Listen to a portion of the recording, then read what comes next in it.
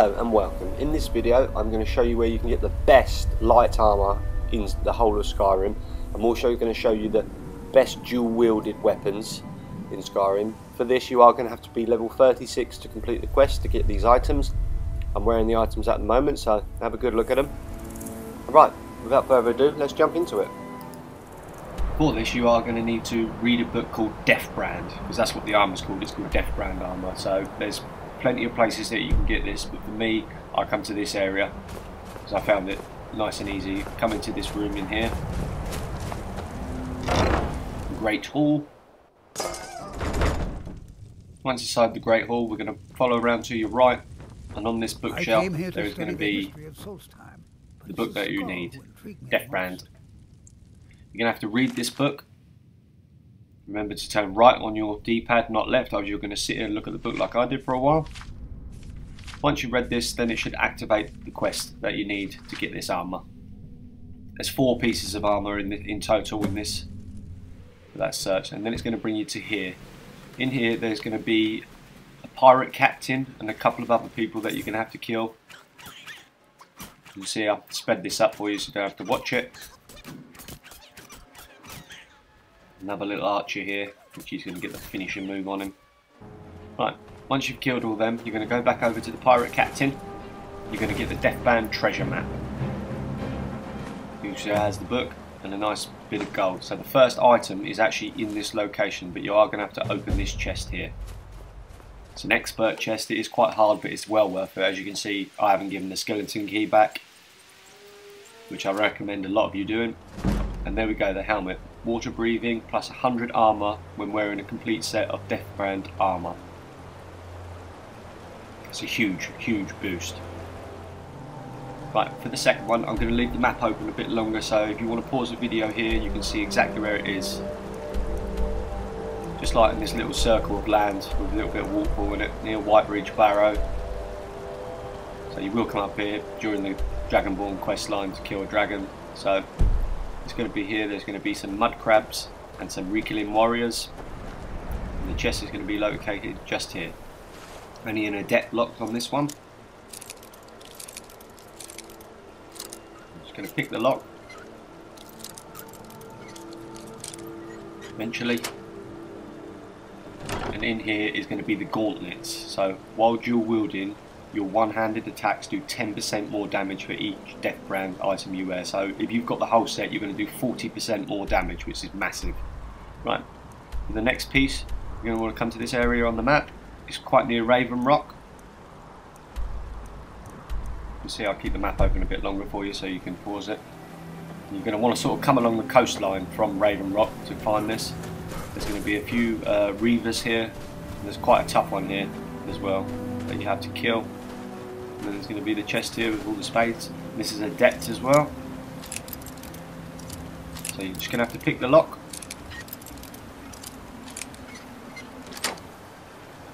And inside this one is going to be the Deathbrand armor. Increases your stamina by 15 points for each Deathbrand item. So all four items, that's 60 more stamina. Everyone needs 60 more stamina. Right, for the last location, we're going to want to come over to here near Tel Mithryn. You would have visited this area if you completed the Dragonborn quests. You see it's just Raven Rock's just there.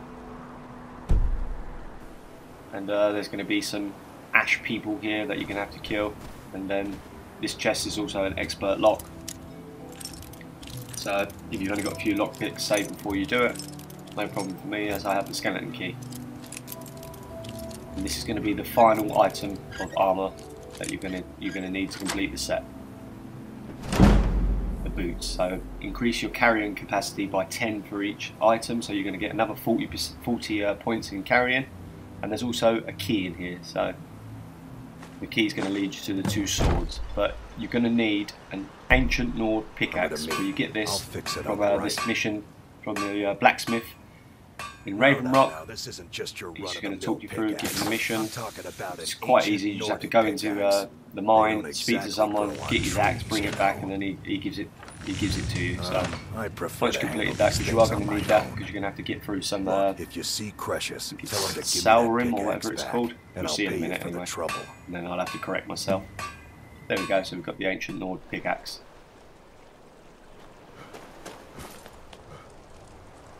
In we go to this place that I'm not going to uh, try and pronounce. I'm just going to show you on the map.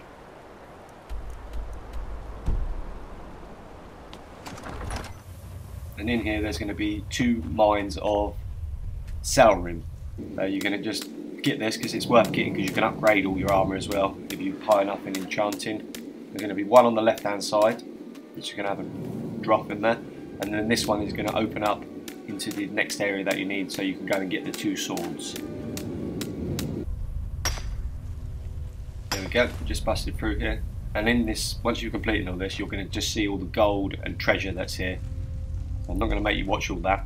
There we go, we've got the key, and you can see all the gold and chests that you can pick up here. I'm just going to speed this up, because I, I like to, I looked around when I did all this. So once you've collected all of your gold and that, then you can progress on, so we can get the, uh, the swords.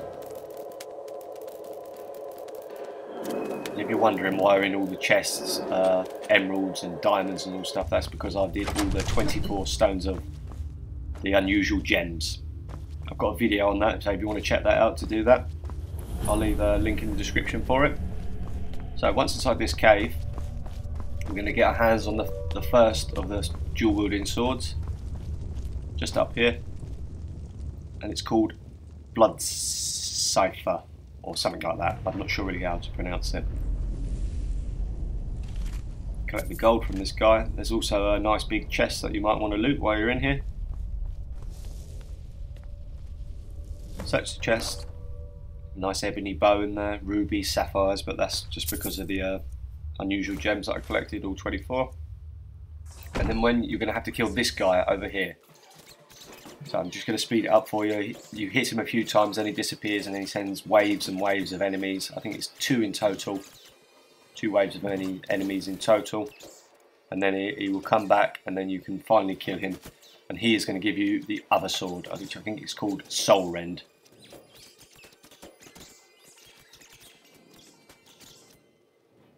Right, he's back now, so he's going to kill him. I get a nice finishing move on him as well. For some reason it's like I slit his throat from the back. Didn't see him turn around, but hey ho. Once you've killed him, it's going to complete the quest and you can search his ghostly remains and then you get Soul Render. So this does 15% magic damage, but it's, it's got to be dual wielded with Blood Scythe. So we've got both of them now. I've tried these weapons out and they are absolutely awesome. Really, really, really good. Definitely well worth it. I'd normally play with a shield and a sword, but now I've definitely switched over to these two. There we go, Blood Scythe does 15% health once uh, dual wielded with uh, Soul Rend. Right, that's going to wrap it up this video. If you found this helpful in any way, smash that like button for me and subscribe for more Skyrim tutorials. And I'll see you in the next video, and I'm out.